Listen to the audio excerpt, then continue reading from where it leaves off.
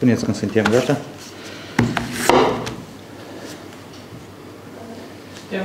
Deci, bună ziua tuturor! Vin chiar acum de la întâlnirea sau întrunirea care am avut-o cu reprezentanții producătorilor agricoli vis-a-vis -vis de soluțiile care au fost identificate, discutate pe locuri agreate și vreau să împărtăș cu dumneavoastră concluziile care le-am le-am scos în urma acestor discuții. Cunoașteți că pe platforma parlamentară a fost creat acest grup de lucru parlamentar, format din reprezentanții fracțiunilor parlamentare responsabile care ne-am asumat pe platforma parlamentară, ne-am asumat acele discuții cu factori de decizie, instituții, guvern, miniștri, exponenții mediului de afaceri, cum ar fi sectorul bancar, sectorul financiar nebancar, cu furnizorii de inputuri. Pe parcursul ultimilor 10 zile, practic, am dezbătut mai multe soluții, au, au fost organizate diverse întruniri, ședințe aici în cadrul Parlamentului, dar și pe platforma guvernamentală. Ca și concluzie, vreau să scot în evidență aprecierea și satisfacția că noi totuși am reușit să organizăm aceste discuții, așa cum am menționat chiar și colegii din alte fracțiuni din opoziții preponderent, dar și fermierii, că este practic pentru prima dată în istoria parlamentarismului Republicii Moldova, când pe o problemă, pe o criză, s-a găsit cel puțin acest consens și în rațiune de a ne aduna și de a discuta problemele agricultorilor. Cu adevărat, în acest an, agricultura este lovită de această secetă severă, fără precedent, și care a generat foarte mari pierderi. Scopul nostru este ca împreună cu factori de decizii, împreună cu guvernul, să găsim cele mai fezabile soluții, în așa fel ca să atenuăm aceste consecințe. Se cunoaște care sunt revendicările producătorilor agricoli care au fost înaintate. Practic, grupul de lucru s-a axat pe examinarea acestor revendicări și mă bucur foarte mult că în urma Uh, soluțiilor identificate pe marginea acestor revendicări, noi am mai identificat și alte soluții și deja așteptăm decizia Guvernului ca să fie puse în aplicare sau să fie aprobate. Principalele uh, soluții care au fost uh, identificate, vreau succint să le reiterez, ceea ce ține de reeșalonarea plăților obligatorii, nereușit cu desăvârșire, aici și pot spune cu Um, satisfacție că am obținut reeșalonarea creditelor față de uh, furnizorii de tehnică agricolă prin proiectul 2 CR și Mecagro, aproximativ 200 de milioane de lei care în acest an agricultorii urmau să le achite în contul stingerii acestor credite, practic au fost uh, reeșalonate pentru 12 luni. Uh, au fost identificate și urmează să fie transpuse deja în legi concrete modificări pe politica de subvenționare în vederea eliminării certificatului privind lipsa datoriilor față de buget, care în acest an reprezintă un impediment suplimentar pentru obținerea subvenției, dar și uh, schimbarea mecanismului de subvenționare a dobânzilor la creditele agricole. Uh, amintesc că începând cu 2010, Uh, producătorii agricoli beneficiază de această facilitate prin intermediul fondului de subvenționare, când statul subvenționează dobânzile la creditele aferente uh, sectorului agricol. Respectiv, ne-am uh, consultat, am ajuns cu toții membrii grupului de lucru la, concluzia, la concluzia ca mecanismul respectiv să fie modificat, astfel ca suma subvenției să fie verată direct băncilor în contul stingerii datoriilor față de bănci a producătorilor agricoli la aceste dobânzi. Ca rezultat a discuțiilor, negocierilor cu uh, reprezentanții guvernului, uh, am reușit practic să obținem acel, uh, acea agreiere vis-a-vis -vis de majorarea fondului pentru susținerea producătorilor în sensul compensării de la 200 de milioane practic la 300 de milioane. Inițial cunoașteți că a fost aprobate 200 de milioane de lei, 100 de milioane suplimentar pentru compensații care urmau să vină pentru culturile de grupa a doua. Având în vedere totuși uh, uh, cheltuielile destul de semnificative, pierderile uh, destul de mari, prin consens, prin discuții destul de aprinse, discuții destul de dure pe locuri, în, în contradictoriu, Am reușit totuși să obținem acest lucru. Practic, acesta va permite majorarea compensației acordate per hectar, aproximativ 1500 sau 1600 de lei va constitui suma compensației per hectar de culturi compromise de grupa întâia. Evident că această sumă nu mulțumește la ziua de astăzi producătorii agricoli și aici trebuie să recunoaștem că încă mai avem de discutat. Vis-a-vis -vis de reeșalonarea creditelor față de bănci comerciale, vreau să zic că am ajuns la un numitor comun sau cel puțin am agreat cu sectorul bancar în cadrul acelei întâlniri cu uh, reprezentanții băncilor comerciale, dar și cu reprezentanții uh, instituțiilor financiare nebancare, mai cu seamă inclusiv și uh, exponenții Comisiei Naționale Pieții Financiare, care am agreat, de fapt, inițierea și promovarea unui proiect de lege în acest sens. Proiect care cu siguranță va trebui suplimentar consultat, conform ultimelor discuții care le-am avut cu colegii din guvern, chiar cu prim-ministru luni am avut acea întrunire, unde ne-am asumat mai multe angajamente pentru următoarea perioadă, unul dintre care a fost perfectarea acestui proiect de lege cu privire la reeșalonarea creditelor față de instituțiile bancare și nebancare. În acest sens, pentru următoarele zile, sper foarte mult că să avem definitivate aceste propuneri, în așa fel ca acesta, împreună pe platforma parlamentară, dar și platforma probabil a coaliției, să discutăm promovarea în continuare acelui, acestui proiect de lege. Ce aici ține de politica fiscală, una din revindicările care au fost înaintate de către producătorii agricoli, au vizat Uh, soluționarea stingerii datoriilor, uh, inclusiv chiar din contul TVA-ului aflat în contul producătorilor agricoli. Vorbim de o sumă de 1 miliard uh, și 800 de milioane, care la ziua de astăzi constituie taxa de valoare adăugată aflată în contul producătorilor agricoli. Iată, din această sumă să încercăm mecanismul sau să implementăm un mecanism de compensare a impozitelor aferente salariului, dar mai nou, în urma discuțiilor, s-a convenit și asupra compensării impozitului funciar a producătorilor agricoli, anume din contul acestui, acestui TVA. Încă o soluție bună, aș spune eu, fezabilă, este extinderea programului de subvenționare a dobânzilor a creditelor aferente activității de întreprinzător, program care a fost de fapt instituit acum în luna mai, în urma adoptării cadrului legislativ aferent uh, minimizării impactului negativ a pandem efectelor pandemiei, respectiv a fost instituit acest program de subvenționare a dobânzilor. Pentru cei care accesează credite în următoarea perioadă, statul să le subvenționează uh, această dobândă. Pentru sectorul agricol, mai cu seamă cei care au avut de pătimit de pe urma uh, secetii, respectiv acest program să fie extins chiar și asupra creditelor de până la uh, instituirea uh, stării de excepționale sau uh, a pandemiei.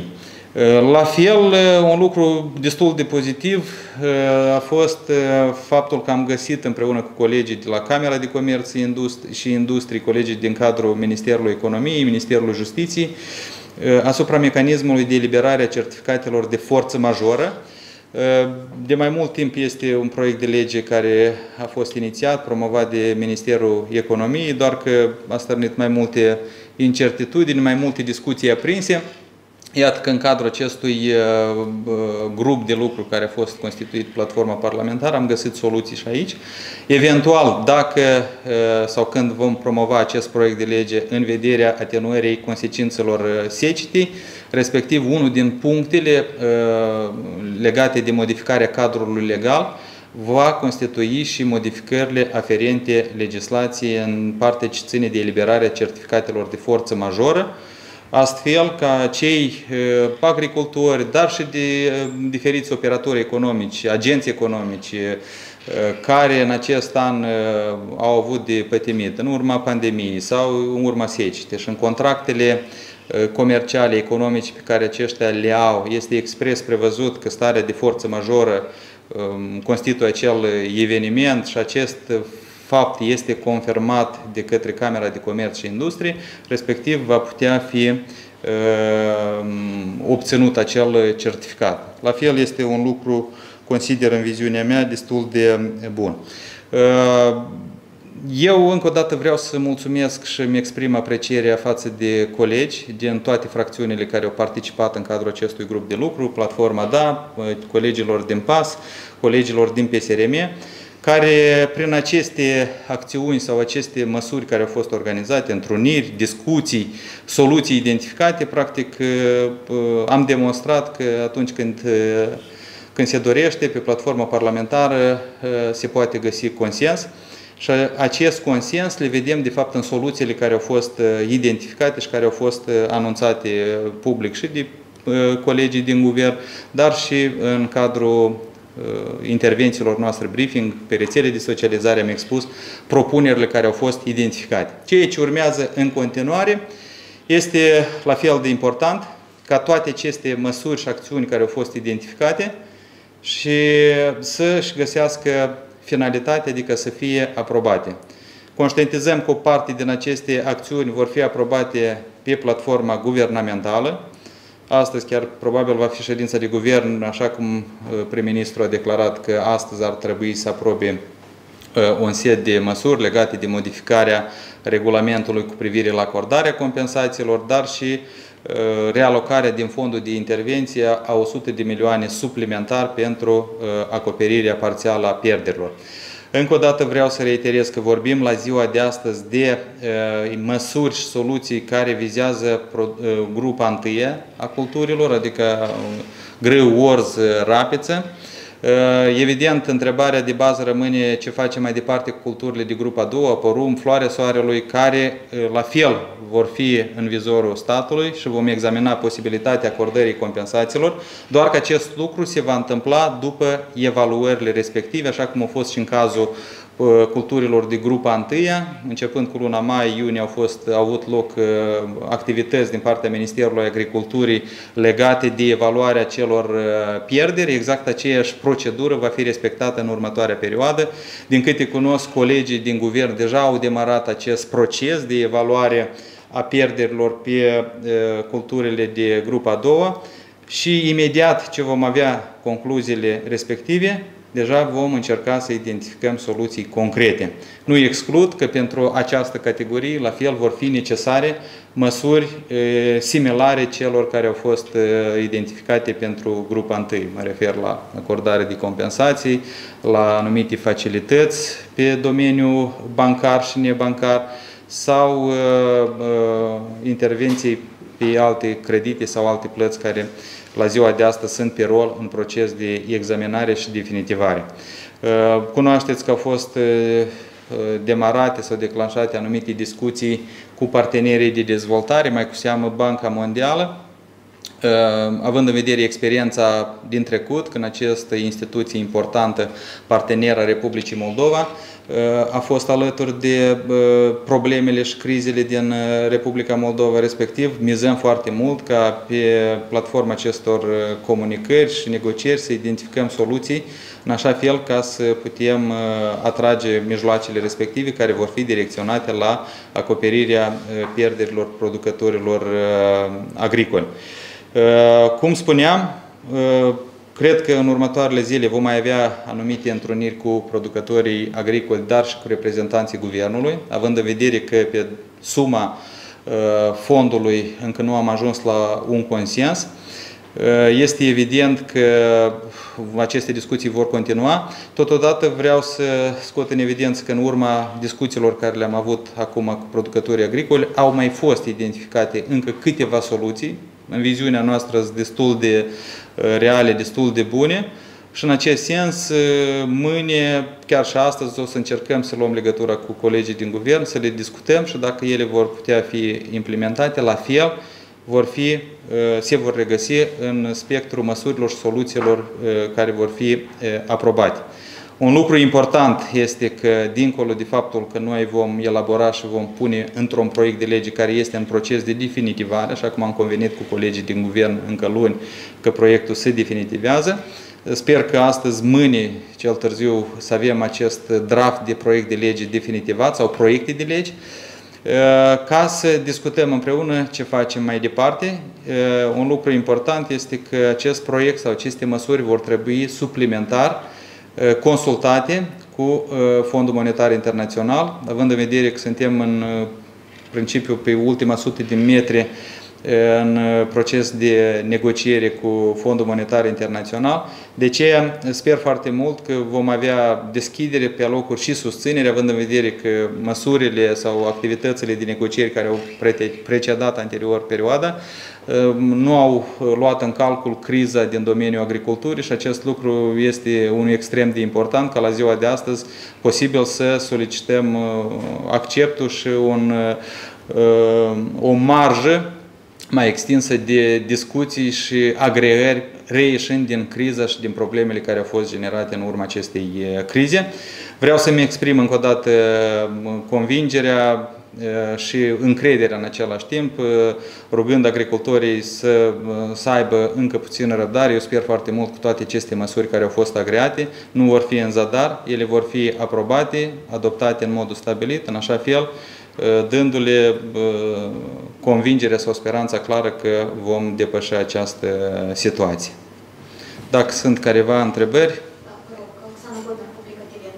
Totuși, o precizare. Dumneavoastră, practic, ați numărat toate măsurile care până acum au fost agreate, dar ieri fermierii i-au declarat după întâlnire cu premierul că nu sunt mulțumiți de aceste soluții. De exemplu, chiar începând cu această sumă compensațiilor, ce au spus? Ei vor insista în continuare pe cele 3.000 de lei? Și cum vedeți dumneavoastră mai departe Ehm, exact. Dânsii nu au spus că nu agrează măsurile. Preponderența, în mare parte, măsurile sunt bune, doar că au rămas părerile diferite legate de suma compensației. Dânsii insistă pe suma de 3.000 de lei la hectar. Noi, cei ce am reușit să identificăm în urma evaluărilor fiecărui capitol de cheltuieli din legea bugetului, la ziua de astăzi cu eforturi destul de considerabile, ținând cont de riscurile, problemele și consecințele care sunt generate în urma pandemiei, crizei economice, am reușit să identificăm aceste 300 de milioane la ziua de astăzi. Este un proces extrem de dificil. Astăzi au fost enunțate sau înaintate toate argumentele și toate dovezile noastre legate de dorința de a găsi soluții și de a identifica cele mai bune soluții în depășirea acestei crize în contextul financiar. În continuare ne-am angajat ca să continuăm această discuție, anume ca să vedem dacă mai este posibil de găsit bani. Acest lucru trebuie să ne-l spui guvernul. Noi ca deputați, chiar și în condițiile în care ne-am dorit, că noi ne dorim nu 3.000, 5.000, 6.000, pentru că cheltuielile sunt destul de considerabile, de aceea este foarte importantă în acest proces decizia guvernului. Ori o decizie asumată de Parlament în lipsa unui aviz pozitiv din partea Guvernului riscă ca această inițiativă să fie declarată, riscă să fie declarată neconstituțională. De aceea, și din acest punct de vedere, dar miza și obiectivul nostru este ca să mergem împreună, Parlamentul, împreună cu Guvernul, agreind și cu producătorii agricoli, să găsim cele mai reale soluții care sunt la ziua de astăzi. Cheltuielile sunt mari și dacă ar fi doar culturile de prima grupă care au fost afectate, vorbim de 200 de mii de hectare, dar vedeți ce se întâmplă și culturile de grupa a doua, practic aproape 800 de mii de hectare, 500, peste 500 de mii de hectare de porumb și peste 320 de mii de hectare de floarea soarelui. Conform datelor preliminare, la fel arată pierderi destul de considerabile. Eu chiar estimez peste 400-450 de mii de hectare vor fi compromise de aceste culturi și acest lucru la fel implică uh, alocare de surse destul de considerabile și problema este că de unde identificăm aceste surse. Deci ce ați declarat nou este că va fi compensat și impozită funciară, adică asta ceva nou care ați agreat astăzi. Nu, astăzi. Asta a fost agreat în contextul discuțiilor cu Ministrul Finanțelor încă în ziua de luni după care am agreat-o împreună cu prim-ministru în cadrul acelei ședințe, că ar fi posibil din contul taxe pe valoare adăugată aflată în contul producătorilor agricoli, să fie compensate impozitele aferente salariului, dar și impozitul funciar, impozit care merge de regulă în bugetul local, dar va merge pe contul producătorilor agricoli, anume în mărimea sau în valoarea impozitului funciar pe care îl achită în acest an. Am văzut și anumite reacții din partea agricultorilor, dar ce facem cu cei care deja au achitat, nu este o problemă, suma respectivă fiind calculată, poate fi utilizată pentru achitările pentru următoarea perioadă sau următorul an, ca exemplu. Și totuși ieri, după întrevedere cu premierul, agricultorii au spus că au mai multe obiecții și la alte soluții. De exemplu, moratoriul pe controle de stat. Ei vor ca să fie până septembrie 2021, iar guvernul propune până la sfârșitul acestui an. Mai sunt câteva obiecții la, sau de exemplu, certificate de forță majoră. Ei susțin că așa și nu explicat nu va funcționa și nu este stabilit nimic. Ați ajuns la un consens în privința acestui? Deci cu forța majoră eu am explicat. În, privință, în principiu soluția a fost identificată, a fost cumva Uh, agreată și cu reprezentanții producătorilor agricoli, cu Camera de Comerț și Industrie ca instituții responsabile, cu Ministerul Justiției și Ministerul Economiei. Deja urmează să se regăsească în acel pachet de soluții sau de prevederi care vor fi înaintate spre uh, adoptare. Uh, vis-a-vis -vis de altă moratoriu. Am văzut reacția și noi chiar am discutat cu prim-ministrul la acest subiect. Eu nu cred că este atât de principial această, această condiție. Noi vom examina și eventual suplimentar vom sugera, adică vom veni și dacă soluția respectivă cu adevărat va ajuta producătorii agricoli în debirocratizare sau în a elimina anumiți factori care deranjează la etapa respectivă, desigur acest lucru în primul rând nu implică cheltuieli financiare și asta ar presupune că uh, ar exista o marjă sau o posibilitate de discuții suplimentare în vederea extinderii acestui termen.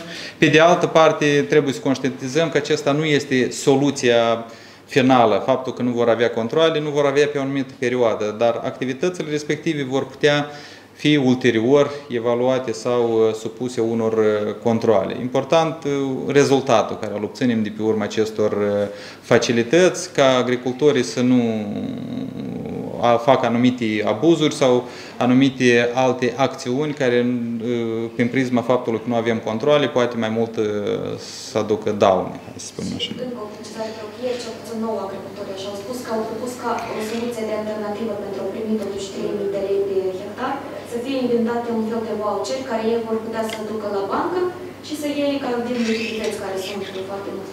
Voi ați, dacă ați discutat asta și dacă sunteți gata să elaborați asta un proiect. Deci atunci când spuneam că în procesul discuțiilor au fost identificate și anumite idei bune, în viziunea noastră, anume la ideea respectivă mă refeream, pur și simplu n-am vrut să o fac public, având în vedere că încă nu știu dacă ea este fezabilă, este reală.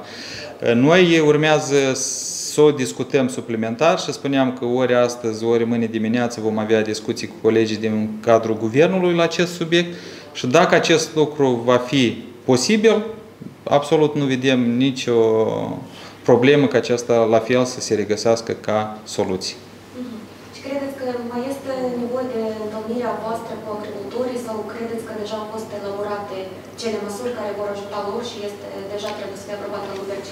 Nu, eu cred că atâta timp cât încă mai sunt disensiuni și neclarități, desigur, ședințele trebuie să continue și noi vom pleda pe comunicare și pe dialog, pentru că asta este unica cale spre adevăr la ziua de astăzi și identificarea soluțiilor. Și mă bucur că platforma parlamentară, acest consens sau acest dialog a fost posibil uh, să-l creiem și să-l întreținem în continuare cu producătorii agricoli. Cam când ar putea să aibă loc această ședință în cadrul sesiunii noi sau ședință extraordinară la care vor fi aprobate aceste proiecte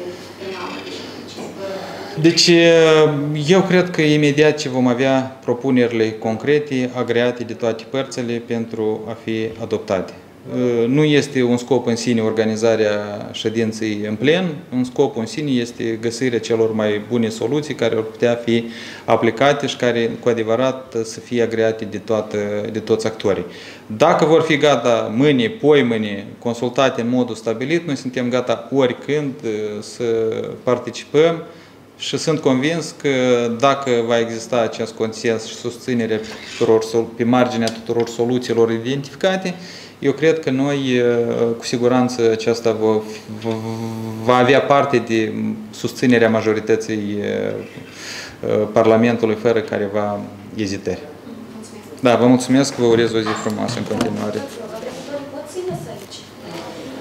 Eu nu pot să vă spun, probabil cu secretariatul. Dacă sunt. O zi bună!